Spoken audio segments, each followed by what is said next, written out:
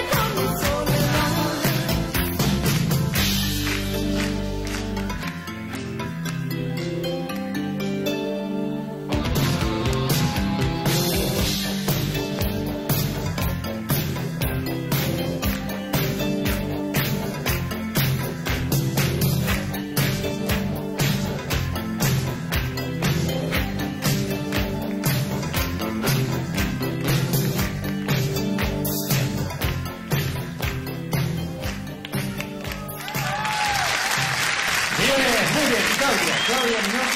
Vamos a hablar del grupo 100, pero me van a permitir, señores, que hable con ella. ¿ah? Esta nueva experiencia musical. Bueno, en realidad para mí es fantástico. Ah, si bien es cierto, eh, primero como solista.